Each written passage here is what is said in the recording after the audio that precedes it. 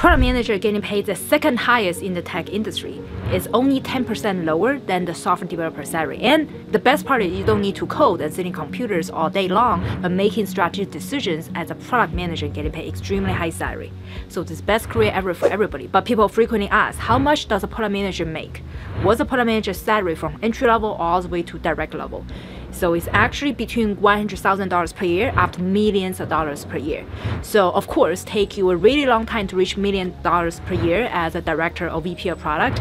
In this video, I'm going to give you the detailed breakdown and how much I'm getting paid as a product manager and my salary progression from 2009 all the way to 2017 and with no filter. And I also know hundreds of people's salary because I negotiate salary for my students.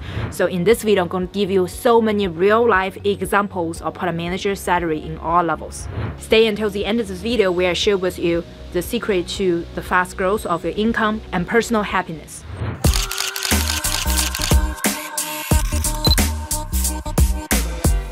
Hey guys, is Dr. Nancy Li, a director product featured in Forbes. I've helped 100 people land their dream PM job offer in FAANG companies, a unicorn startup, and continue to get promoted as a product leader. In this channel, we talk about tech trends and the free product management training. Like and subscribe and check out our new video every Tuesday. First of all, I totally regret that I didn't start product management journey until my late 20s. If I have started way earlier, I could already make so much money in a younger age. Just like many of people who join tech companies as a PM, the first job ever out of college, they're already making so much more money compared with other people. However, it's too late to regret. So let me share with you my salary growth from 2009 all the way right now. I moved to the US in 2009 as a PhD student and with only $800 in my pocket. Then as a PhD student, I was getting paid at $1,400 per month in 2009. I was so happy at the time. I was like, oh, looks like I don't need to pay taxes but in reality it was because I was significantly underpaid.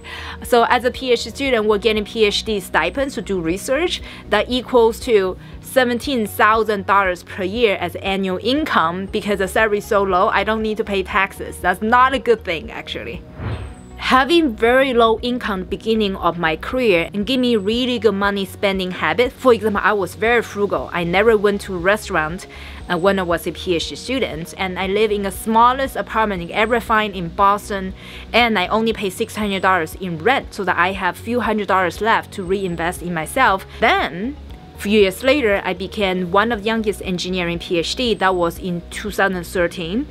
I graduated from Boston University and all of a sudden, I started to make real money. And I became a systems engineer at Shell Oil in 2017 and at the time people still recovering from recession and I was just trying to get any job I can ever get who can sponsor my H1B. So that job actually paid me $90,000 per year as a base salary and also 10% bonuses that equals to $99,000 per year in terms of total compensation. And because I didn't know how to negotiate, I didn't ask for any sign-on bonuses, so that's a tip for everybody. You must negotiate your salary regardless the economical situation. I actually have a video about salary negotiations. Check out right here. But one year into my new job, I discovered that I was underpaid and my male coworkers they were getting paid at least $100,000 per year as a base salary. But at the time, because I need H1B sponsorship, I'm no confidence, so I didn't know how to really stand up for myself. So I just stuck my head, continue getting underpaid. That was the worst thing I've ever done. That's so stupid. But later on, after I started to learn product management knowledge and build my confidence, and then I landed my first product manager job with no PM experience. That was so exciting. And all of a sudden, I was getting paid at $130,000 per year as a base salary and 20% bonuses and plus 5k sign-on bonus. So that equals to $160,000 per year for the first year total compensation. That was with Verizon in the Boston office in 2016. And at the time I was so happy, wow, my salary literally went up by 60% for total compensation. I was like just blew my mind. I strongly encourage everybody to switch into product management. You can immediately get a salary bump right away. And there is something important I want to point out for my compensation during that time. That was salary for big tier 2 company on the East Coast. If in 2016 you land the same type of job on the West Coast in Silicon Valley, your salary go up by 30% naturally because this is like national standard. People on the West Coast getting paid higher than people on the East Coast. 30% higher. So which means that in 2016, if I had land the same type of job offer in large tier 2 companies on the West Coast, I would be getting paid around $200,000 per year in terms of total compensation. Now, if you're also asking how much you should be getting paid right now with the same kind of years of experience like me and you should also add another 10% inflation because 2016 to right now the inflation is already at least 10%. So let's make a conservative number. So 10% inflation Uh, and in Silicon Valley, you were getting paid at least $220,000 per year for total compensation just for tier 2 companies for entry level PM position as well. Of course, not everybody getting paid as much for the very first PM job. You must learn how to negotiate your salary and package your past experience to make people appreciate your background much more. I made so many more videos about how to make the transition. You can watch videos about 9 steps to become PM right here.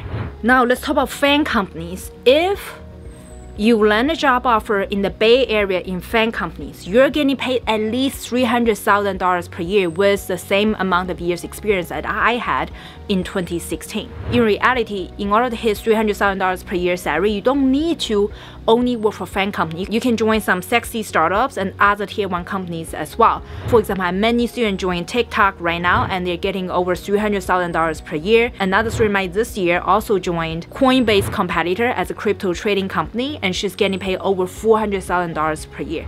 So therefore, if you really want to maximize your salary, open up your vision beyond FAANG companies, but look into those sexy tier one companies as well. By the way, the above salary I shared with you is not senior PM title in those sexy companies. Those are just product manager title in those tier one companies or sexy uh, unicorn startups as well. So if you are senior PM, you're getting paid even more. If you find this video very insightful so far, make sure to give a like and continue to all the salary insight in next step. Now let's continue to talk about group product manager. In 2018, I became a group product manager in Verizon, was in the same company. So my salary only went up by a little bit because it's an internal promotion. So my new salary is $164,000 per year as a base and plus 20% commission that round up to be $200,000 per year in terms of total compensation. Again, if you are holding the same type of position with the same years experience as I had and became a group product manager, you are able to receive $250,000 per year to $300,000 per year for tier 2 companies on the West Coast. If you join tier 1 companies or FAANG company, become a group product manager, it's very likely you're gonna hit half million dollars per year for sure. If you join Google as a group product manager, it's going to be even higher, like $800,000 per year for sure. And I have a cheat sheet that breaks down years of experience and based on the location and tiers of companies, you can go to the link in the description to download cheat sheet and use it to evaluate your own compensation as well. Now let's talk about the director salary. In 2020, I finally became a director by jumping to a new company. Once I became a director, my compensation increased significantly. It's a director position on the East Coast again. So the base salary is $205,000 per year plus 45% annual bonuses. And on top of that, I'm also uh, getting $27,000 in terms of sign-on bonus that add up to be $327,000 per year for the first year total compensation. And I didn't include the long-term incentives.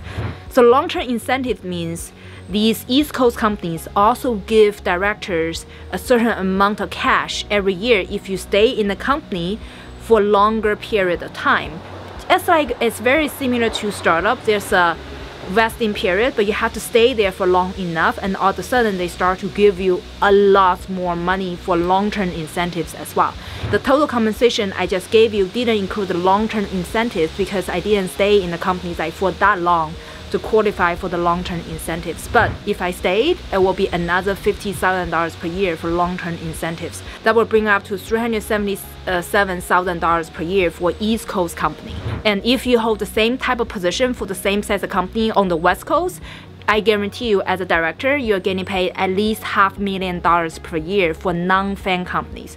Of course, if you join FAANG companies as a director, your salary will be above $1 million for sure. For example, how do I know this?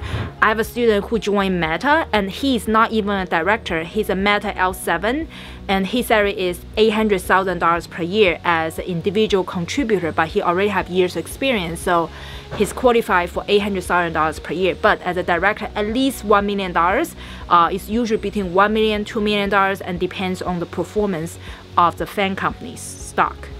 People might ask me this question, Nancy, why you gave up your $300,000 per year director job? That sounds so stupid.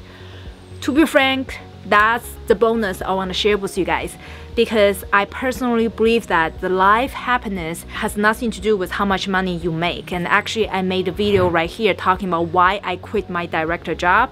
In short summary, it's mainly because life choice.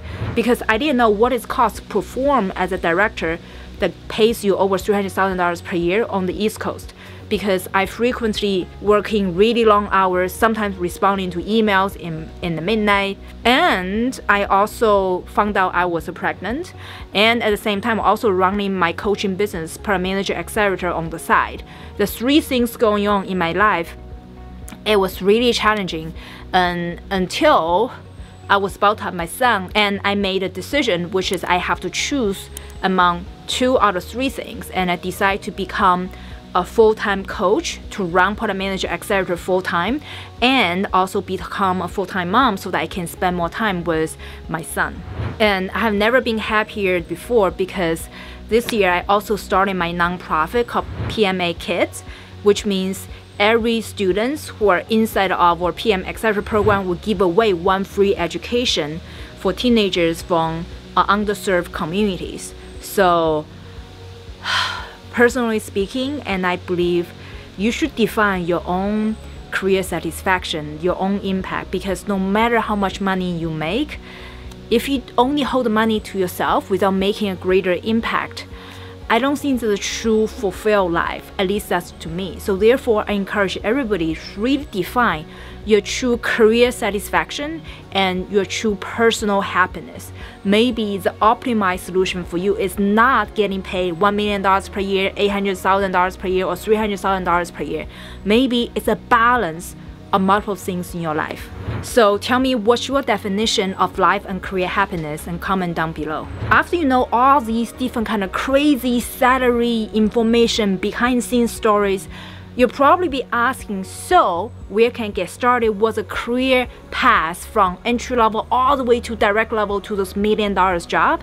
And uh, make sure to watch this video where I describe the specific career paths for product managers of all levels and how fast you should get promoted and what you should expect in FAANG companies and non-FAANG company as you grow up your entire career as a product manager. Make sure to download the latest product manager salary information cheat sheet in the description of this video and find out if you are underpaid or not. This is Dr. Nancy Li from PMAccelerator.io. Like and subscribe. I'm going to see you in my next video right here.